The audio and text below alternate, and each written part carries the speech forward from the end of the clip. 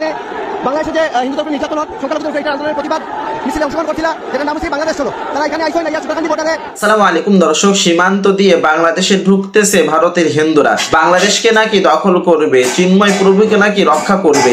দর্শক আমরাও বলি আপনারা আসেন। কারণ আপনাদের দেশে বাথরুমের অবস্থা তো বেশি ভালো না আমাদের দেশে এসে একটু বাথরুম করে যান। দর্শক সেই ভিডিওটা আপনারা দেখতে পাবেন। সাথে সাথে দর্শক হাসিনা মোদী বিজেপির সমস্ত গোপন তথ্য ফাঁস করেছে ভারতেরই একজন আইনজীবী। দর্শক বিষয় ভিডিওটা আপনারা দেখতে পাবেন তাই দর্শক ভিডিও সম্পূর্ণ দেখবেন এবং বেশি বেশি শেয়ার করে অন্যকে দেখার সুযোগ করে দিবেন। দর্শক সীমান্তের ভিডিওটি দেখার আগে চলুন আমরা দেখে আসি এই ভারতের আইনজীবী কি বলেছে। সেই অখণ্ড মানুষগুলোকে বিজেপি কোন রকম ভাবে দ্বিধা বিভক্ত করার চেষ্টা করছে এবং এই দ্বিধা বিভক্তটাকে ফায়দা মানে রাজনৈতিক ফায়দা নেয়ার জন্যই এই পুরো পরিকল্পনা। এর পেছনে যে একটা বিরাট রাজনৈতিক অভিসন্ধি আছে সেটাকে আপনাদেরকে রিভিল করা করা উচিত। আমাদের রাজ্যে পশ্চিমবঙ্গ পশ্চিমবঙ্গেও এই একই ধরনের চিন্তা ভাবনার কিছু মানুষ। ধরুন, বাংলাদেশে যে পরিস্থিতিটা তৈরি হয়েছে, তার তার জন্য নির্দিষ্ট কয়েকটা, গুটি কয়েকটা মানুষ যারা এই পুরো পরিস্থিতিটা তৈরি ক্রিয়েট করছে। আমাদের যে রাজ্যেও কিন্তু এই বিষয়টাও নিয়েও একই ব্যাপার। এখানে রাজনৈতিক নেতার মধ্যে অনব্দি নেতা, সেটা উনি বলছেন যে গরুর দুধ থেকে সোনা তৈরি হয়। এবং এই যে সাইন্টিফিক মানে আনসাইন্টিফিক কথাবার্তা যে সাধারণ মানুষের মধ্যে ঠুকে মানে একটা জিনিসকে পুট করে দাও এবং সেটা নিয়ে যাতে মানুষের মধ্যে একটা মানে অসন্তোষ তৈরি হোক।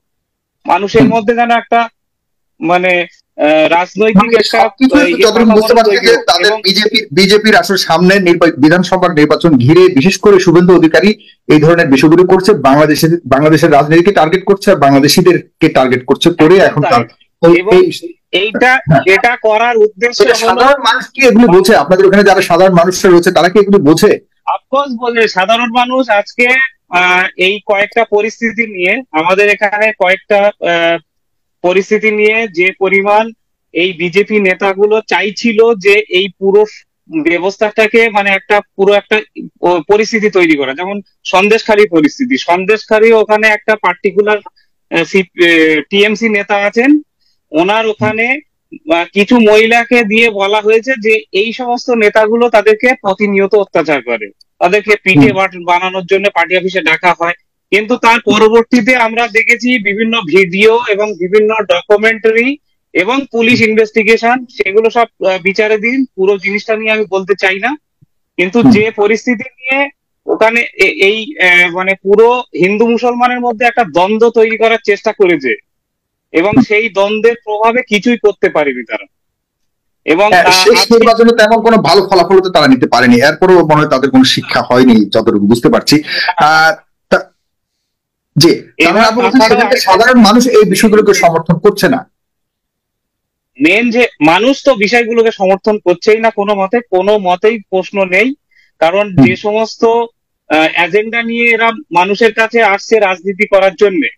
এবং আমাদের অনেক বন্ধু আছেন যারা বিজেপির নেতা তারাও পর্যন্ত এটা হাইকোর্টে বলা শুরু করছেন যে Muslim under threat of the মানে হিন্দু কমিউনিটি তো আমরা সেখানে বাধ্য হয়ে বলছি যে ভাই তোদের বাড়িতে তো আমরা আগুন দিইনি তাহলে এই প্রশ্নটা কেন আসছে? তার মানে এরা একটা পার্টিকুলার একটা মানে চিন্তা ভাবনা নিয়ে এটা চলছে।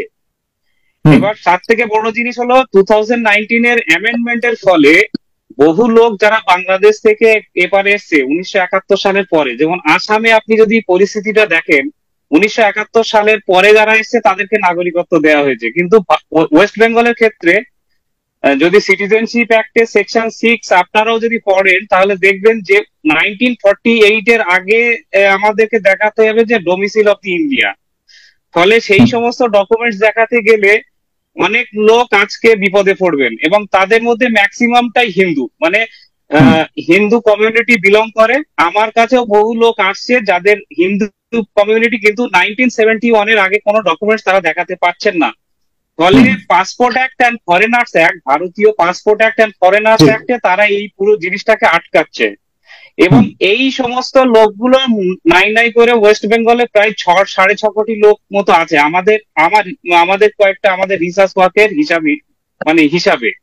এবং এই ছয় সাড়ে ছয় কোটি লোককে একটা বড় বন্দুক দেখানো হচ্ছে যে তোমরা আহ, নাগরিকত্ব অ্যাপ্লিকেশন করো। নাগরিকত্ব যখনই অ্যাপ্লিকেশন করবে তখন স্টেটের একটা জুরিসডিকশনের মধ্যে পড়ছে এবং এগুলোকে তারা পোলারাইজেশন করবে।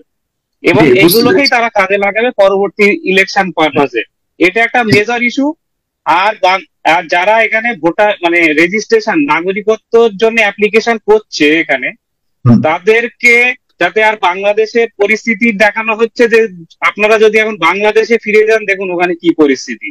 ফলে তাদেরকে একটা দাস বানানোর প্রচেষ্টা হচ্ছে। যারা আজকে একত্রিশে ডিসেম্বর দু হাজার চোদ্দোর পরে এখানে মানে আগে এখানে এসছেন তাদেরকে বিজেপি গভর্নমেন্ট ভুল বোঝাচ্ছেন যে আপনারা নাগরিকত্বর অ্যাপ্লিকেশন করুন আপনারা নাগরিকত্ব পাবেন। কিন্তু। আমাদের দেশের কনস্টিটিউশনের কনস্টিটিউশনের আর্টিকেল ফাইভ এবং নাগরিকত্ব আইনের পাঁচ এবং ছ নম্বর অনুচ্ছেদ অনুযায়ী এখানে নাগরিকত্ব পেতে গেলে কয়েকটা ক্রাইটেরিয়া তাকে মেনটেন করতে হবে। মূল বিষয়টা ওখানে নয় যারা বৈধ পথে ভারতের ঢুকেছেন ধরো ধর্মীয় নির্যাতনের কারণে যারা ঢুকেছেন তারা তো আর ডকুমেন্টস নেওয়ার সময় পায়নি। তারা এখানে ঢুকে গেছেন দীর্ঘদিন ধরে এখানে আছেন। সেই অখণ্ড মানুষগুলোকে বিজেপি কোন রকম ভাবে দ্বিধাবিভক্ত করার চেষ্টা করছে এবং এই দ্বিধাবিভক্তটাকে ফায়দা মানে রাজনৈতিক ফায়দা নেয়ার জন্যই এই পুরো পরিকল্পনা। এবার দর্শক ভারতের আইনজীবী কতগুলো আপনাদের কাছে কেমন লেগেছে অবশ্যই কমেন্ট করে জানাবেন। চলুন দর্শক এবার আমরা সেই বিশ্বমান্তের ভিডিওটি দেখে আসি।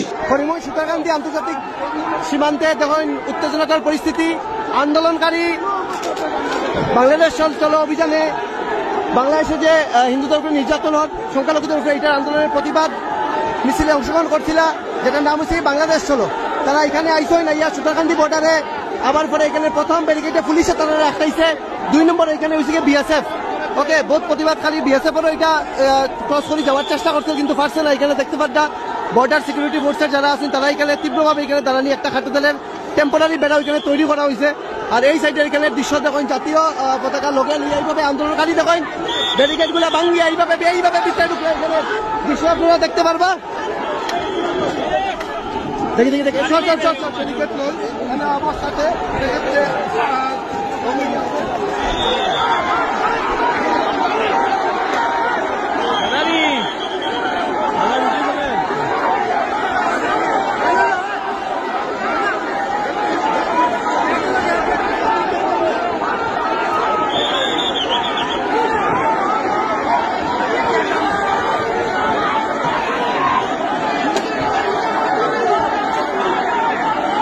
হাজার হাজার সনাতনী দূর দূর পর্যন্ত যতক্ষণ দেখবা সনাতনী যারা আছেন এই সাইডটাও দেখতে পারবা। চিন্ময় প্রভুরে যাতে মুক্তি দেওয়া হয়, এটাও একটা মুখ্য দাবি। তার সঙ্গে বাংলাদেশে যে সংখ্যালঘুর উপরে নির্যাতন, এটাও যাতে তড়িঘড়ি বন্ধ হয়, এটা দাবি হরিয়া বাংলাদেশ সর অভিযান হিন্দু ঐক্যমঞ্চ এই আন্দোলনে সারা আসাম থাকিয়া সারা বরাকগুলি থাকিয়া হাজার হাজার সনাতনীরা এটাতে অংশগ্রহণ করছেন। এখানে দেখতে পারতাম আমার দোলাই আইছেন আমরা দোলাই দোলাই তো শুনাই। দোলাই। দোলাই দোলাই এবার ক্যান্ডিডেটও আসলা ইন্ডিপেন্ডেন্ট ক্যান্ডিডেট আমার বন্ধুদের কুন্ডারি মারছে। তা সত্ত্বেও আইসি কইছি ক্রস করব এখন আমরা ওইদিকে যাইমু। হয়তো মৃত্যুবরণ করব কিন্তু ওইদিকে যাইমু। মৃত্যুবরণ করব ওইদিকে যাইমু। দর্শক এই ঘটনা নিয়ে আপনার কি মতামত অবশ্যই কমেন্ট বক্সে জানাবেন। ভিডিও পর্যন্ত ভিডিও ভালো লাগলে লাইক দিবেন এবং বেশি বেশি শেয়ার করে অন্যকে দেখার সুযোগ করে দিবেন। আসসালামু আলাইকুম।